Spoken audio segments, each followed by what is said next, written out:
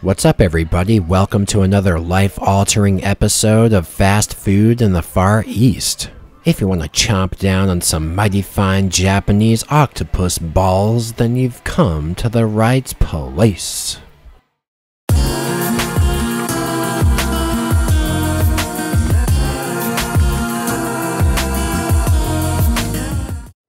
So I was trotting around downtown Tokyo when I came to a sudden epiphany of sorts. Basically, I came to the understanding that I was feeling a tad hungry. Lucky for me, as if by divine providence itself, I came across a Japanese octopus ball restaurant. So I waltzed on into the place and started watching the maestro make those octopus balls. And I gotta say, just watching that scene, I started to feel kind of mesmerized by that maestro's skill and prowess. And I could see without a doubt that these were the gigantic octopus balls I not only needed in my life, but also deserved. After all, I've actually been to this takoyaki restaurant chain called Gindaco quite a bit before. I haven't been to this precise location, but they have restaurant chains all across Tokyo, and I love them to bits. Problem is, I've always only ever gotten the same flavor before, so today I'm gonna try to branch out. That's right, baby cakes, you heard me correctly. Today is changing day in my life.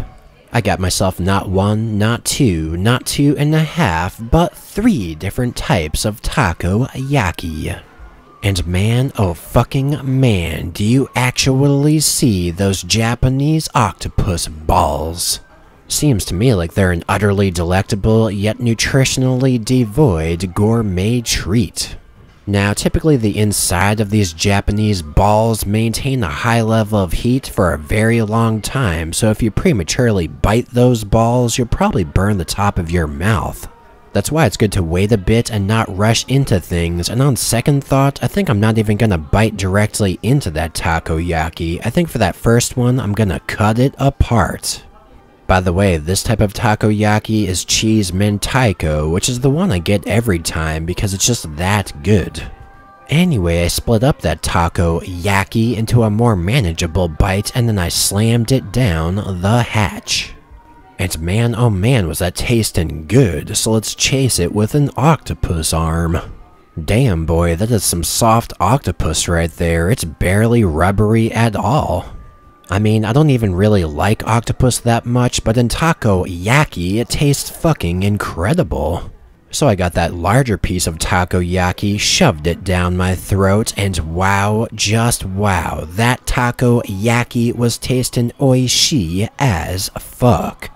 I mean, first of all, let me talk about the texture of these breaded octopus balls. The thing I like about Gindaco Takoyaki is it's always crispy on the outside and soft on the inside. Then you have a somewhat chewy chunk of octopus arm cooked inside that ball.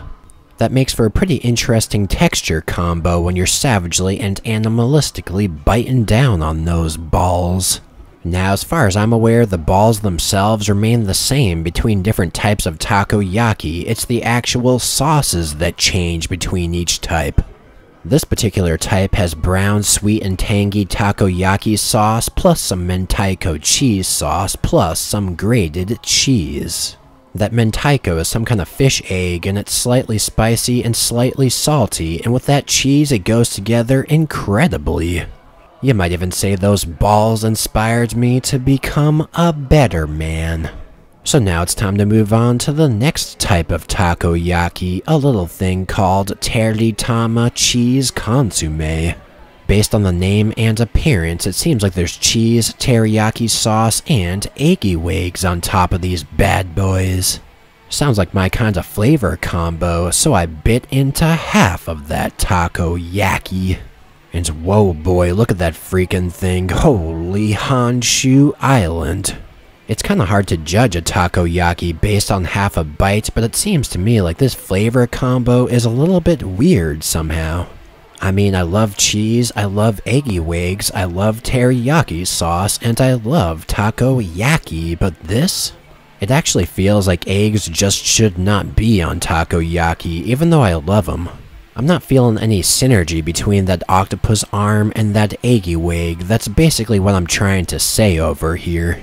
I mean, these gigantic Japanese balls are tasting good, scratch that real good, but I can't help but feel that the previous balls were much better. So although I ended up finishing all of those Japanese balls, I still preferred the previous Cheese Mentaiko ones. However, I was keeping an open mind and an open dick for the third and final variety, the original takoyaki flavor. They gave me a choice between the normal mayonnaise and the spicy mayonnaise, so I got me the spicy one and I started putting it on myself. Mind you, in most takoyaki restaurants, they usually put the mayonnaise on for you, so I don't know what this is all about.